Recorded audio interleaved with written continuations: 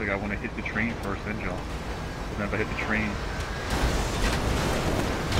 Oh shit!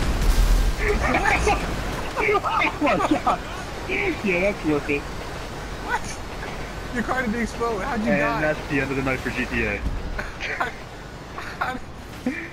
What? I'm gonna have to save it for my view because like I lived that the entire thing. I had a sticky bomb on your car, and it didn't explode. I was hovering and then got killed by the train.